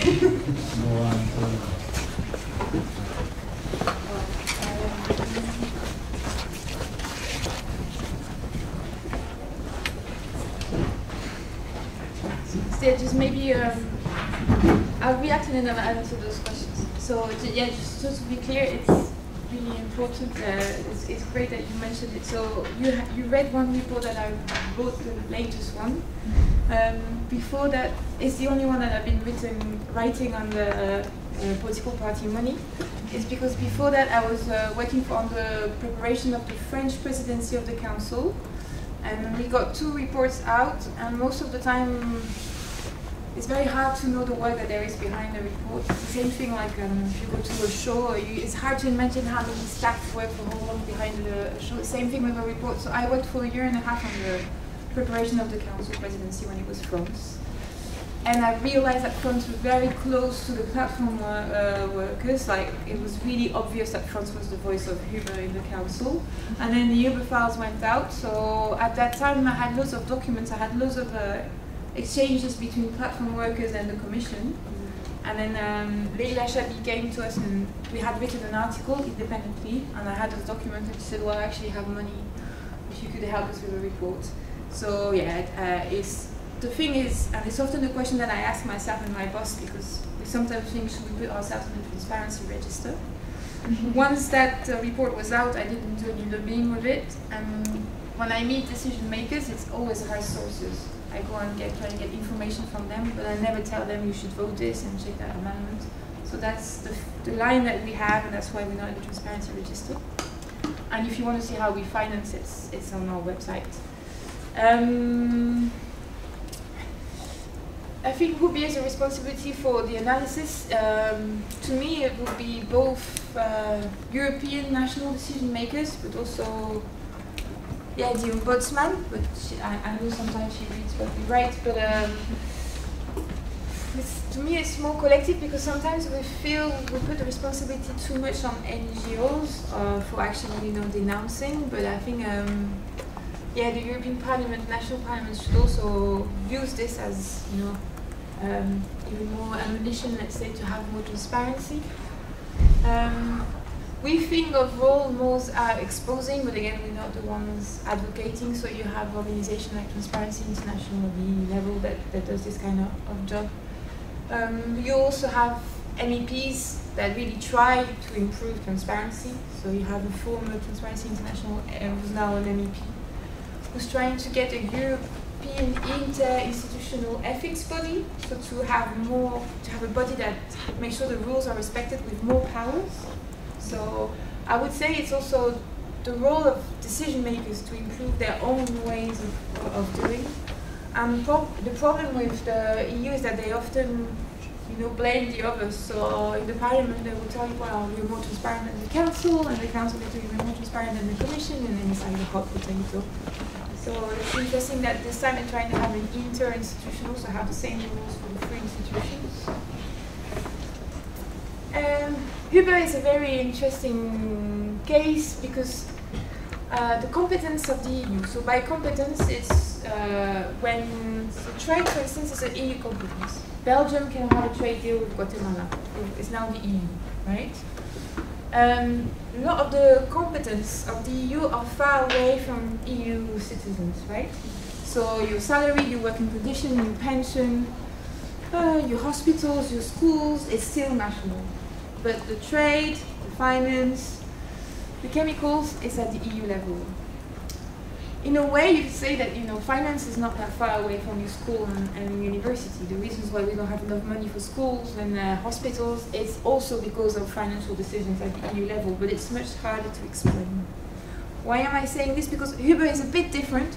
Uber is one case where you actually have a social policy that everybody can see the link every day when you take a Uber taxi or when you see someone in the rain delivering uh, pizza or whatever. So in this case, it's a case of an EU policy that has a daily illustration in Europeans' daily life. So the link between the European citizens and the policy makers is more direct. So I think that's also why it's, in a way, it's a success story. And I'm saying this because when I used to work on trade and against trade agreements, and we felt that we were raising people's interest when we were linking very technical things to people's daily life. So we, we used a lot of past uh, cases in the World Trade Organization between the EU and the US, chlorinated chicken, GMOs and things like this. And we said, well, actually, you know, those are the kind of things that are being discussed today about whether or not we're going to eat chlorinated chicken. And that's how you got people's attention. It has disadvantages because obviously it oversimplifies something that is much more complex. But it's a great way of getting people's interest. The problem is often you get people's interest, but do you get them deeper than the chlorinated chicken? That's obviously another another question. I'll just finish on this. So, but there's other things in Uber. Not only there was a direct link between the Brussels discussions and your daily life, but there was also a lot of members of European parliaments that use it, in this case also Leila Chaibi but others, to get also political attention to their role. And they did things which are interesting, like Leila invited a lot of drivers and, and coursiers and cleaners to Uber or Wolt own lobbying uh, event inside the parliament. Mm -hmm. And I think this was really interesting because they were, in a way, it's, it burst that bubble. You know? They were not ready for this. They clearly didn't want them there. So they clearly didn't want a debate. And that's where I think it's interesting is like how do you burst that bubble and you create a debate. And you create controversies and you accept it. To give you another example, it's, it's not to flatter my ego, but once I was invited to do a political debate with the Commissioner for Trade from Sweden by the Swedish national TV. And she refused, she said it's, it's me or her. Mm -hmm. She didn't want to debate with me and she cancelled. And it's like, if you are a commissioner paid by public money, you know, commissioned by Sweden to become commissioner for trade, and you're not able to have a debate with someone who disagree with you on Swedish national TV, then there's a real problem. And it's the same thing when you bring drivers to a event. Yeah, you are doing politics. It is going to be controversial. And you, it's part of your job, so that's why I was saying it. And then there was someone raised their hands and yeah. Um, I think you partly now answered it, but maybe there's even more to it. Uh, my question was when you said you were simplifying things as far as people's interest, like what um, modes of communication do you actually use? How who are the people you talk then to? If you say you oversimplify or you simplify to make them um, interact with you, like what kind of channels are there? Well, a lot of it goes through. So at that time, I was more a campaigner when I was working in corporate Europe Observatory. At that time, I used lots of uh, videos, uh, social medias. That's also what the MEPs do when they try the representation, or they have events. They talk to the media. things like this. So it's more trying to get it, it's trying to get attention for for the public, to the public, and for that public opinion to actually raise, rather than going to the institution. And it goes back also to the questions you were saying, what roles do NGOs play? Either NGOs talk to the public, and they try to inform the European public, it's quite small, but you inform the European public on EU policy, and you try to put pressure for people, or you focus on the institution, and you just advocate the institutions, and you forget about the public. And maybe that's where I would disagree with others, and it's a strategic choice that some did and others don't. That I believe that an NGO should have both sides. And maybe we oversimplify, but if no one else tries to explain EU politics, then you, in my opinion, you have uh, it's part of your job. And sometimes a lot of NGOs, because it's such an expert job, end up only talking to the institutions and not always, you know, trying to explain also and, and inform. Um, my question is a little bit linked to that. How would you like compare um, lobbying like the one that you just described to uh, demonstrations or even like acts of civil disobedience? Like how much do commissioners or like different types of policymakers, uh, like how how important is that kind of public like pressure or like public opinion for them? Do they even care? Like what's what's your gut feeling about that? Well, it's the same feeling when you were saying before that uh, coalition of interest groups.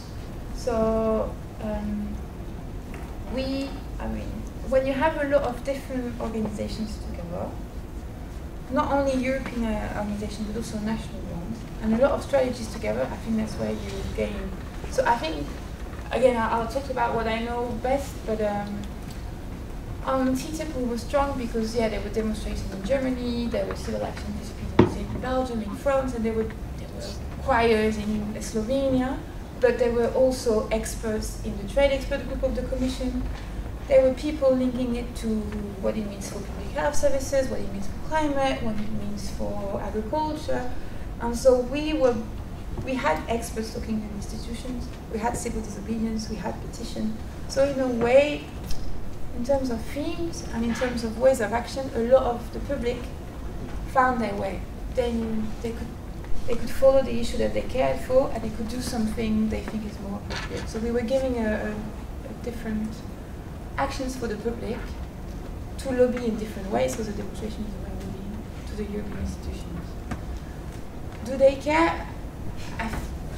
Yeah, on trade they start caring and they start being super scared. Um, I know that the environment commissioner went to one of the Fridays for Future demonstrations, and it did give me him more influence when he was trying to get environmental legislation through. So of course they they listen and they care, but then there's a yeah it's, it's it's not the only ways of influence, right? But it does have an impact. They do like it's not by chance that uh, Der Leyen started about the Green Deal. You know, there is when they can feel the pressure. They just don't like it, but they can feel it. yeah. I have a very very question. So the, the presenters they had something that there's mixed evidence about the effectiveness of lobbying uh, and counter movements. What is more, I think that is a um, it's a quantitative question, right? Which is more more of the times what is more successful. So I'm also trying to understand what exactly do you call lobbying? Is it called lobbying only when it is a corporate player with um, shady consulting firms and law firms that uh, are intransparent, but also a union can also hire consulting firms. So I'm because I don't know the context very well because I in my country trade unions also function basically as grassroots arms of political parties. So I'm trying to understand how it is here, what you call lobbying and what is not lobbying, and again, yeah, what is more quantitatively speaking on aggregate strategies successful. Um, so yeah, I would uh, lobbying. I included also NGOs and trade unions, and um, I include also public authorities and corporations. So I include everyone. The shady law firms and communications, they're not that shady. Well, they they're untransparent, but they are like. Uh, Sidley Austin is a huge law firm across the world, and they're really respected. So. Um, how to be successful? Well, I would say it really depends. Um, if you have a lot of corporate, if you have most of the corporate world united behind the same message or the same strategy, it gives them more force, obviously. If you don't have a lot of counter power and it's not politicized, yeah, they're gonna get stronger. Uh, but again, this can all change. It's politics. It's, it, there's a lot of different factors and things can change. Another um, a good example would be glyphosate. So glyphosate in seven years, so nine years ago, it was found carcinogenic by the World Health Organization. Uh, so it became a bit controversial. The European Health Organization said it's not carcinogenic. And a vote was happening in comitology. So comitology, it's all the member states together, and they had to renew glyphosate for 15 years. It was all going to be, you know, fine, no problem, 15 years, no debate. And then it became a huge. And no one really knows why it became a huge thing. Obviously NGOs were against it, but it became a huge thing. And all of a sudden, it was going to be renewed for five years. All of a sudden, people doing comitology were going on the news. I it never happened before. And it only was approved again for five years uh, because the Ministry of Agriculture of Germany didn't follow Merkel's advice. So I think here it's like, how do you know that all of a sudden uh, public mobilization works? It works until the point that it was nearly not renewed. But the power of the German chemical industry was bigger than the order from Merkel. You know, every issue is, is different. It's very hard to have like an idea when or when it doesn't work. You see trends, but otherwise it's uh, yeah, it's, it's politics. It's very hard to predict.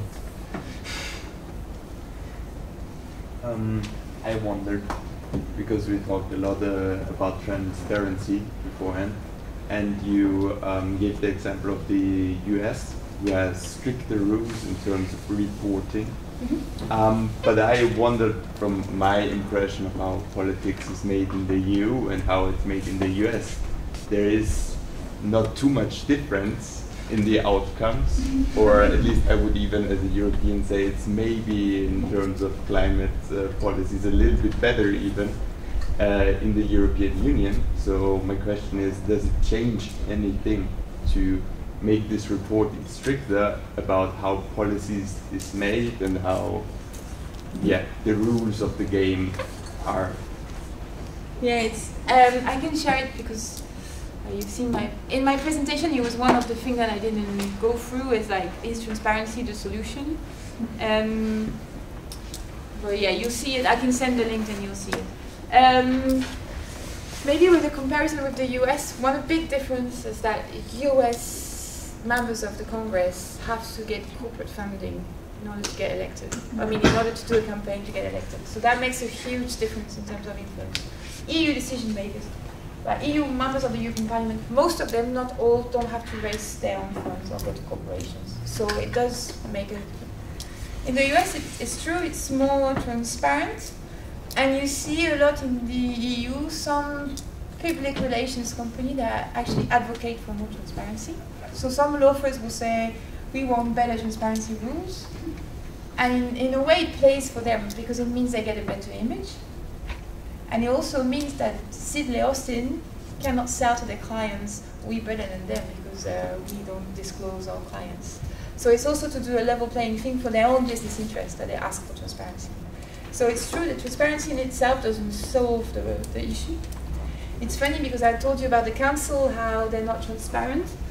And there's an academic study where since the agendas and some points of discussion, so it's only the agenda, not what France and Poland and Estonia said, it's the, issues they're discussing. Since it's more transparent, the coffee breaks and the dinner breaks are longer in the agenda, so that you know you can keep some informality. Um, so yeah, transparency can have uh, it's not it's not the silver bullet clearly, and I think that's why that, that article, I hope you can you can deepen it, and it's really interesting from what the ombudsman is saying. Yes, rules, transparency will be better, but it's the whole culture. Like I think you also need to change the way decision makers are recruited. The whole ways of working have to be changed, and I think you need also more scandals.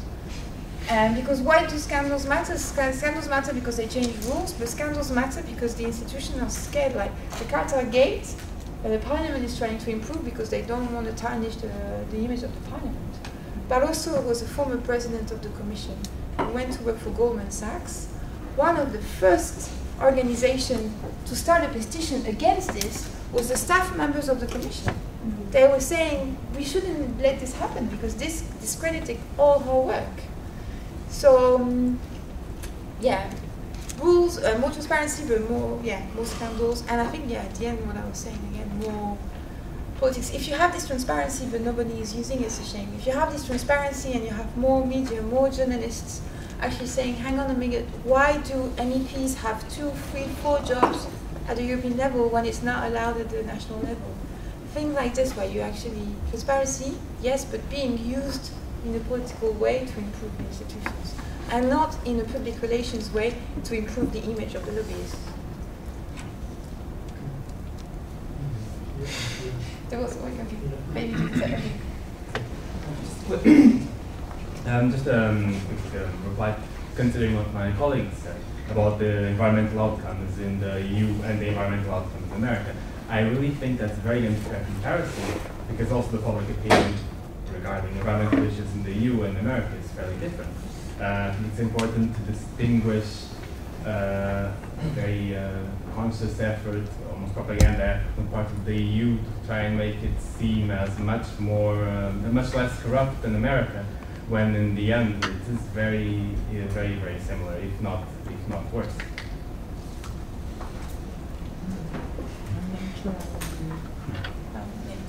Um, I want to go into like the, the solution and like the idea of for economic decisions made by the citizen assembly, and I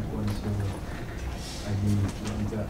Um, I think uh, it's what a you were saying. Citizen assembly, yes, but they will still need some expertise. So where do you get the expertise from? It's the idea of having multiple experts of different. I mean, whoever yeah. wants to be an expert can come and present, so you have discussion on them. But I would say what I would say yes, but only if they real they have like a initiative power. Because I think it's one of the problems with the parliament where the, the the law that we were looking at on platform workers is one of the only few examples where it's the parliament that has asked the commission to do something on platform workers. And most of the time it's the commission that initiates legislation. So not on its own, it's through the pressure of the council and the parliament. But if you have a citizen assembly or just the parliament that we have now and they can't initiate, I think it's that makes it um, yeah, it's, it's really the power of initiation because if, if the commission sets the agenda, then you're more likely to have a depoliticized debate. While if you have politicians setting the agenda, politicians being elected and wanting to be re-elected, you'll get a very different agenda. Because MEPs, it, they want to get re-elected. So there'll be some, maybe some of them will be very proud to say, I make sure that Uber drivers get a contract, and then they can get re-elected on this, and then we can have a proper campaign also. Because the problem that we're going to have with the European elections is that they might come on TV, on French TV, Estonian TV, or German TV, but they'll talk about German politics. They're not actually going to say, this is what happens in the EU, this is what I've done. Where if you have an initiation at the parliament, the politicians will come at the national level and say, this is what I did in the EU. So all of a sudden, we're discussing real EU politics and not just EU politicians trying to get re-elected speaking about national politics. Yeah. Yeah. yeah. yeah I have a short consulting question. Like, do you consider that, for instance, like that it's quite common that big, big uh, economic groups like have shields or make contributions to media and newspapers, do that that is considered like lobby because at the end like media and they end up like influencing the debates and public opinion and also for example that usually you have like consultancy corporations that actually you hire them and you say okay rather than research about this I want to prove this but and at the end it's like the, the same like democratic opinion that shapes the debate so do you think that those kind of activities are considered lobby lobbying at all or is it something different? Again, it's never that black and white, but um, there's only there's really one big media at the EU level, and already that's the problem. I mean, obviously there's Euractiv, there's Euronews, and things like this, but in reality, to be frank, most lobbyists and even people in NGOs, you read Politico newspaper newsletter every morning. Why? Because Politico is the only newspaper that you receive at 8 a.m. in your mailbox, and at 9:30 when your boss arrives, you know everything and you can discuss blah blah blah about the latest because you've read the newsletter and that's what everybody does. And the Politico newspaper is on trade, is on pesticides, on agri and environment and finance. It comes every morning at 9 and everybody reads it. Politico is sponsored by a lot of different organizations. Google, the pesticides lobby, Meta, governments, whatever, Ernst Young, PCW. It doesn't mean that they won't have an investigative journalist looking into the shadow lobbying of Google. So it's not always that direct. But the problem is, it's the only time. To me, what's more,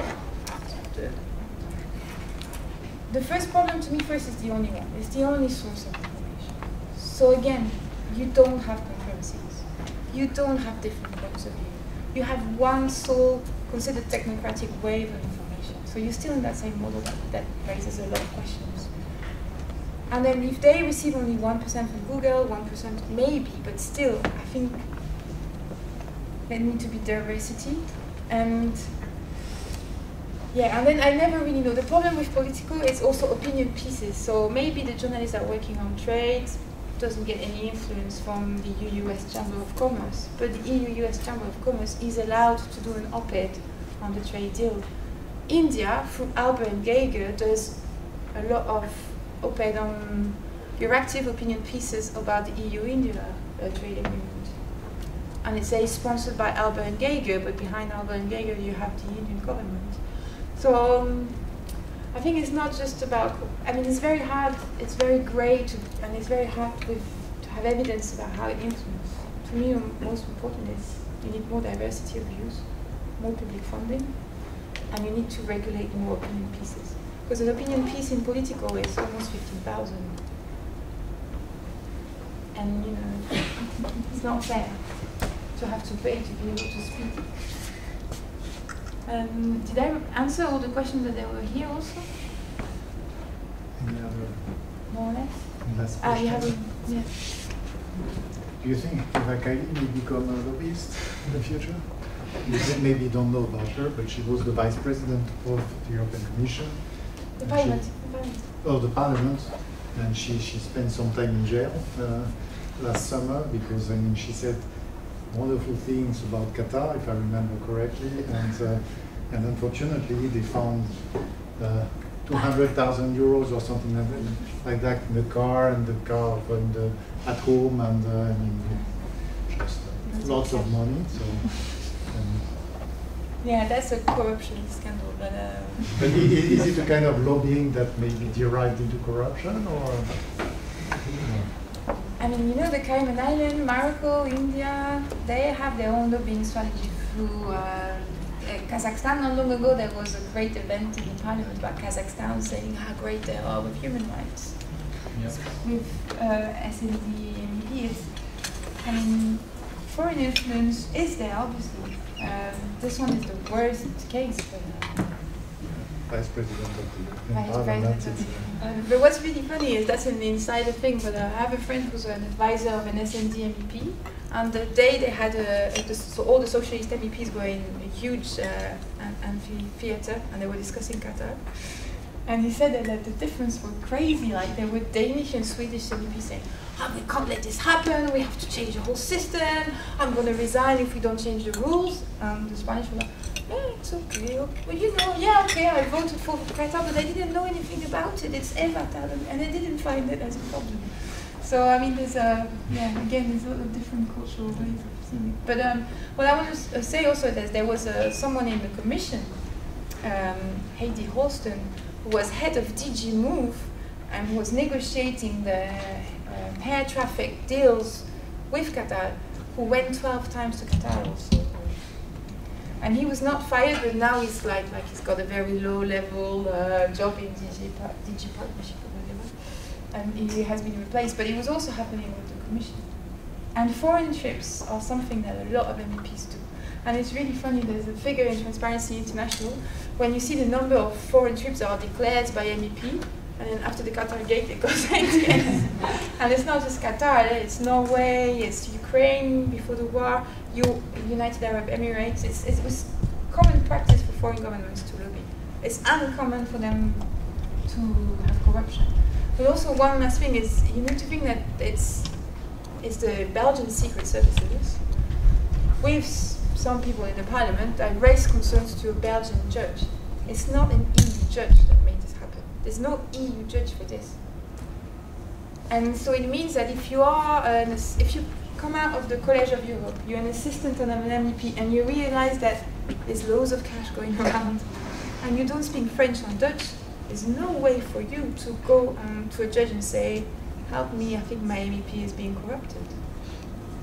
And so it also raises those questions, you know. And it, it was a Belgian judge with the Belgian secret services, so there's a lot of geopolitical things involved, you know.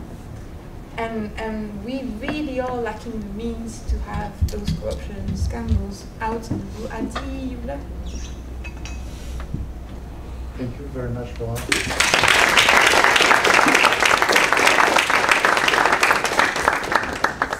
Okay, so we start again at 4.30 sharp. Break.